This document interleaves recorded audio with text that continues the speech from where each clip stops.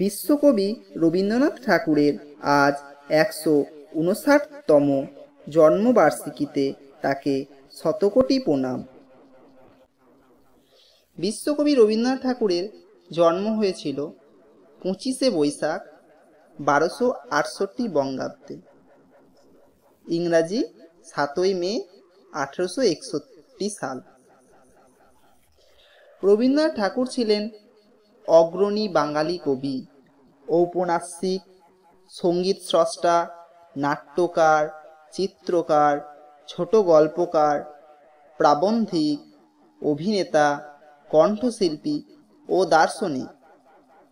তাকে বাংলা ভাষায় সর্বশ্রেষ্ঠ সাহিত্যিক মনে করা হয়। রবীন্দ্রনাথকে গুরুদেব, কবিগুরু ও বিশ্বকবি অভিধায় ভূষিত করা হয়। রবীন্দ্রনাথের বাহান্নটি কাব্যগ্রন্থ আটত্রিশটি নাটক, তেরোটি উপন্যাস ও ছত্রিশটি প্রবন্ধ ও অন্যান্য গদ্য সংকলন তার জীবদ্দশায় বা মৃত্যুর অব্যাহতির পরে প্রকাশিত হয়। তার সর্বমোট পঁচানব্বইটি ছোট গল্প ও এক হাজার নশো পনেরোটি গান, যথাক্রমে গল্পগুচ্ছ ও গীতবিতান সংকলনে অন্তর্ভুক্ত হয়েছে। রবীন্দ্রনাথের যাবতীয় প্রকাশিত ও গ্রন্থাকারে অপ্রকাশিত রচনা বত্রিশটি খণ্ডে রবীন্দ্র রচনাবলী নামে প্রকাশিত হয়েছে। রবীন্দ্রনাথের যাবতীয় পত্র সাহিত্য উনিশ খণ্ডে চিঠিপত্র ও চারটি পৃথক গ্রন্থে প্রকাশিত। এছাড়া তিনি প্রায় দুই হাজার ছবি এঁকেছিলেন। রবীন্দ্রনাথের রচনা বিশ্বের বিভিন্ন জায়গায় অনুদিত হয়েছে। উনিশশো তেরো সালে গীতাঞ্জলি কাব্যগ্রন্থের ইংরেজি অনুবাদের জন্য তিনি সাহিত্যে নোবেল পুরস্কার লাভ করেন। রবীন্দ্রনাথ ঠাকুর কলকাতার জোড়াসাঁকো ঠাকুর বাড়িতে জন্মগ্রহণ করেছিলেন। তার পিতা ছিলেন ব্রাহ্ম ধর্মগুরু দেবেন্দ্রনাথ ঠাকুর এবং মাতা ছিলেন সারদা সুন্দরী দেবী। রবীন্দ্রনাথ ছিলেন পিতামাতার চতুর্দশ সন্তান। জোড়াসাঁকোর ঠাকুর পরিবার ছিল ব্রাহ্ম আদি ধর্ম মতবাদের প্রবক্তা। আঠারোশো পঁচাত্তর সালে মাত্র চোদ্দ বছর বয়সে রবীন্দ্রনাথের মাতৃবিয়োগ ঘটে।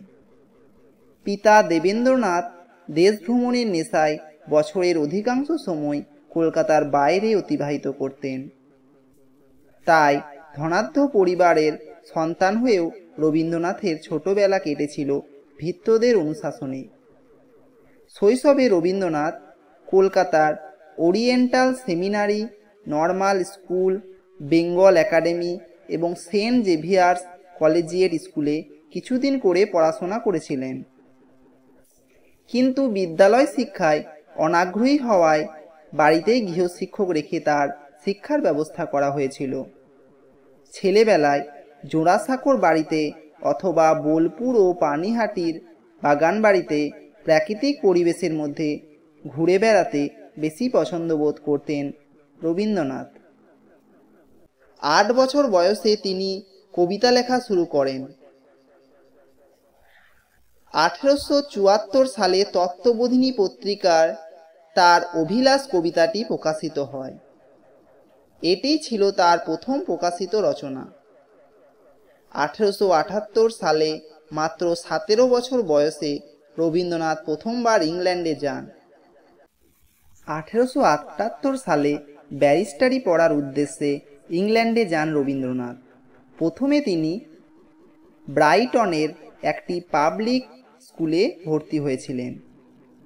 আঠেরোশো উনআশি সালে ইউনিভার্সিটি কলেজ লন্ডনে আইনবিদ্যা নিয়ে পড়াশোনা শুরু করেন। কিন্তু সাহিত্য চর্চার আকর্ষণে সেই পড়াশোনা তিনি সমাপ্ত করতে পারেননি।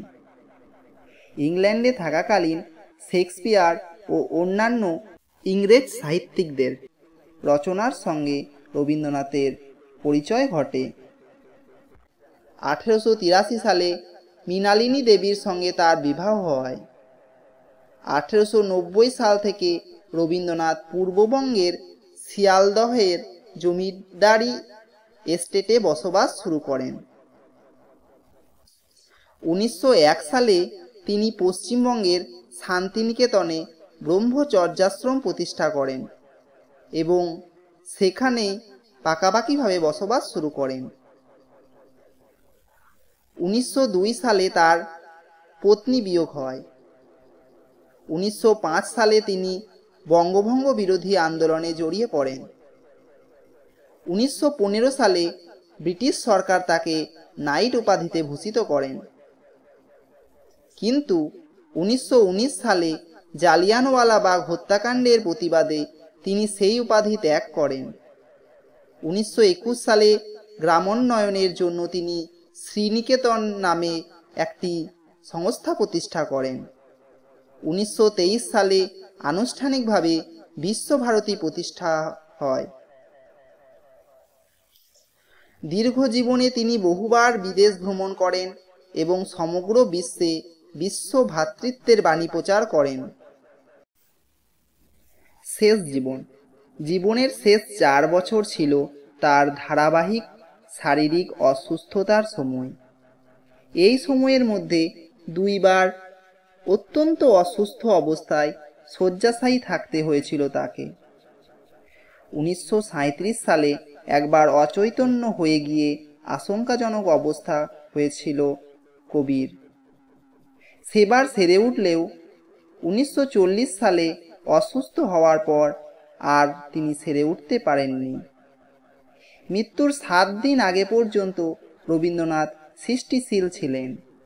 দীর্ঘ রোগ ভোগের পর উনিশশো একচল্লিশ সালে জোড়াসাঁকোর বাসভবনে শেষ নিঃশ্বাস ত্যাগ করেন আমাদের রবীন্দ্রনাথ ঠাকুর।